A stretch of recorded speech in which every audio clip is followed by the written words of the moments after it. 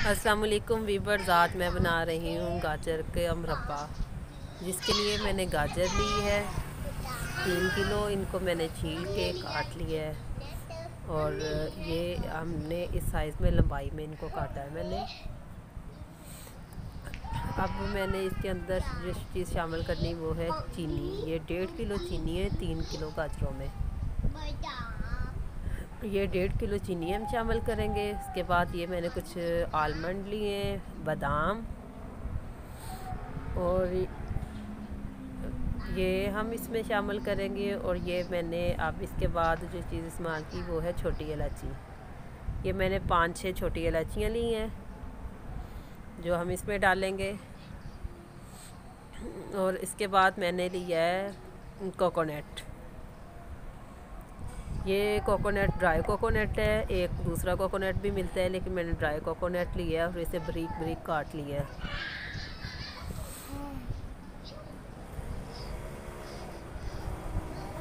अब हम इसको भी इसके अंदर शामिल करेंगे। ये मैंने एक जग पानी लिया है। पानी हमने इसके अंदर तीन लीटर के करीब, तीन किलो के करीब इस्तेमाल करना है, तकरीबन। ये मैंने एक जग लिया है। अब हम, मैं इसको पतीले में डालते हैं, ये मैंने पतीला रख लिया अब मैं इसके अंदर गाजरें डालूँगी।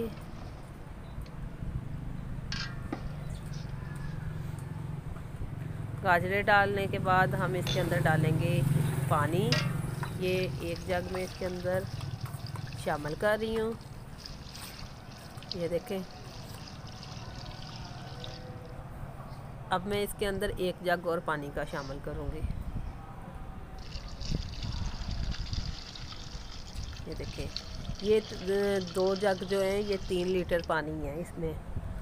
अब मैं इसके अंदर ये चीनी शामिल कर दूँगी। ये देखें।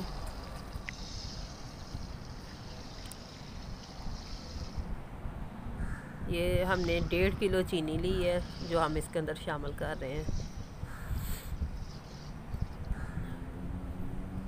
अब मैं इसके अंदर ये जो छोटी इलायची है,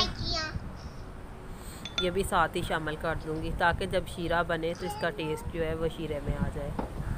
अब हम इसको ढाँप देंगे और चूल्हा ऑन कर देंगे।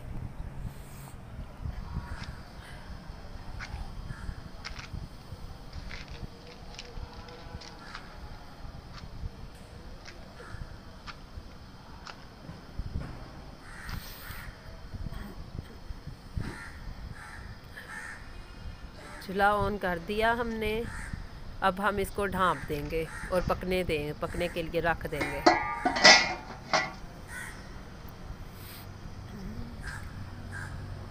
हमने सिर्फ़ इसको बंद करके रख नहीं देना, बल्कि इसको साथ साथ हिलाते, हिलाना भी है, ताकि जो गाजरें हैं वो नीचे ना लगें। और गाजरों को इस तरीके से आपने हिलाना है कि गाजरें टूटे ना आपकी। ये ना हो कि वो मुरब्बे की जगह गाजरों का हलवा बन जाए। गाजरें जो है, उनका साबित रहना भी ज़रूरी है।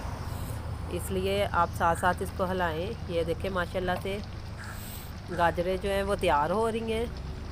गाजरों का मुरब्बा जो है, बन रहा है। आपने गाजरों को 30 से 35 मिनट पकाना है। इसका शीरा इस तरह होना चाहिए, जैसे एक तार शीरा जिसे कहते हैं, वो रह जाए। माशाल्लाह से हमारा जो गाजरों का मुरबा है, वो तैयार हो गया है। ये देखें, बिल्कुल अच्छी तरह इसका पानी जो है, वो बहुत ज़्यादा नहीं शीरा हमने रखना, दरमियाना सा हो। ये अब मैं इसको डिश आउट करूँगी।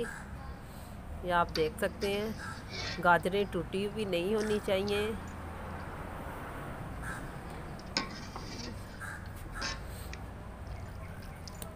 बहुत ही आसान और मज़े की रेसिपी है। आप ज़रूर ट्राई करें। इस रेसिपी को अगर आपको पसंद आए लाइक करें कमेंट्स करें और सब्सक्राइब करें।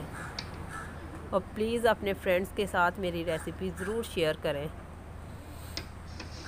मुझे कमेंट्स में ज़रूर, ये देखें, मैं शीरा डाल रही हूँ। बहुत ही आसान और मज़े की रेसिपी है।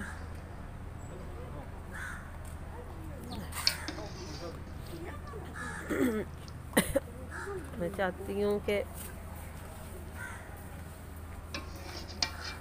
मिलते हैं अब हम अगली वीडियो के साथ। इन अल्लाह हाफिज़। मम्मी।